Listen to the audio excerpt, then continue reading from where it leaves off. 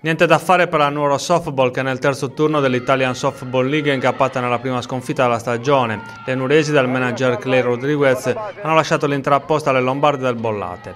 La sfida, disputata sul diamante di Via Manironi, cui si riferiscono le immagini, ha visto il Bollate dominare entrambi i match in programma sabato. In virtù dei risultati, le Lombarde rimangono in testa al girone a punteggio pieno, mentre le nuresi sono al quinto posto.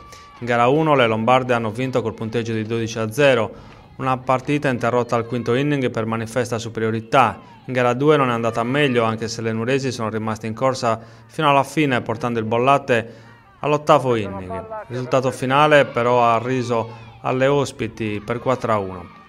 In gara 1 le Lombarde non hanno lasciato il tempo alle padrone di casa di organizzarsi, tanto che nel primo inning si sono portati sul 3-0. Dopo un sostanziale equilibrio nel secondo inning, terminato senza marcature, la squadra ospite ha realizzato altri 6 punti nel terzo inning, portandosi sul 9-0. Un risultato che di fatto ha chiuso ogni discorso. Nonostante il tentativo di Ambra Collina di opporsi alla performance delle avversarie, il Bollate ha chiuso i conti nel quinto inning realizzando altri 3 punti che hanno fissato il risultato sul tabellone sul 12 a 0.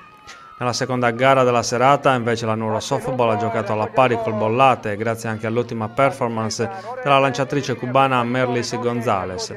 Lo sviluppo della gara ha portato le squadre sullo 0-0 fino al settimo inning. La svolta c'è stata nell'extra inning col Bollate che si è portato sul 3-0. La Nuova Softball ha reagito segnando un punto ma il risultato finale è stato a favore della compagine ospite che ha chiuso i conti mettendo al segno il punto del 4-1. Nel prossimo turno, in programma sabato, la Nuoro Softball sarà di scena a Staranzano. L'obiettivo delle Verdi Azzurre è quello di riscattarsi al più presto dalla sconfitta appena subita.